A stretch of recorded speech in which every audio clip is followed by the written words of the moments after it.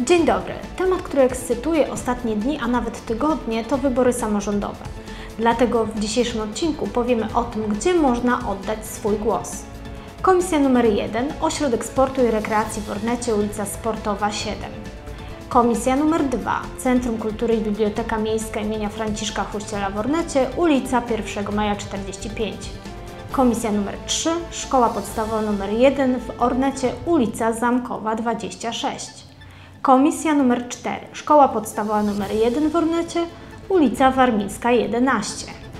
Komisja numer 5, Szkoła Podstawowa nr 4 w Ornecie, ulica Kopernika 13. Komisja nr 6, Szkoła Podstawowa w Barzynach, Barzyny 17.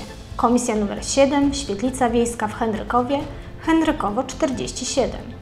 Komisja nr 8, Świetlica Wiejska w Mingajnach, Mingajny 65. Komisja nr 9, Świetlica Wiejska w Opinie, Opin 9.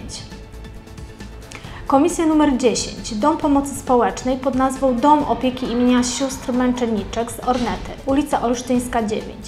Ten lokal wyborczy zlokalizowany na ulicy Olsztyńskiej 9 zapewni dostęp głosowania dla osób przebywających w domu opieki. Daje to szansę na udział w wyborach samorządowych osobom, które ze względów zdrowotnych lub innych przyczyn nie mogą opuścić placówki. Podsumowując, w Ornecie i okolicznych miejscowościach zorganizowano szereg komisji wyborczych, aby umożliwić mieszkańcom łatwy dostęp do głosowania.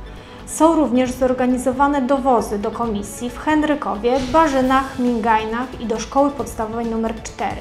Rozkład znajdziecie w opisie tego filmu. To było wydanie specjalne, a za tydzień wracamy z normalnymi reportażami.